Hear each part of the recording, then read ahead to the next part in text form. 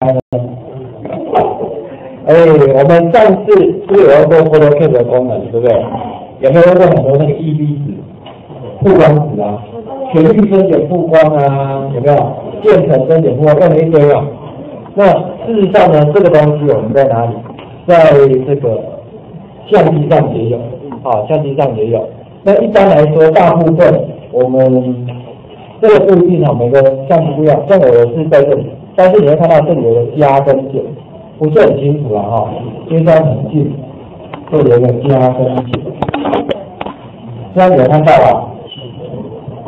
加跟减，好，就是这个。那有的相机是在像这种外面就直接可以看，但是有的是像你的智慧型手机，像我早上上那款，那个产品有我发现他有十几位、二十位的智慧型手机嘛，这个手机你在拍照的时候是有这个，哎，也有这个功能啊。那我们来看一下，你看看，如果按下去的时候，把图一点点，好，你看把它按下去，有没有领到左边？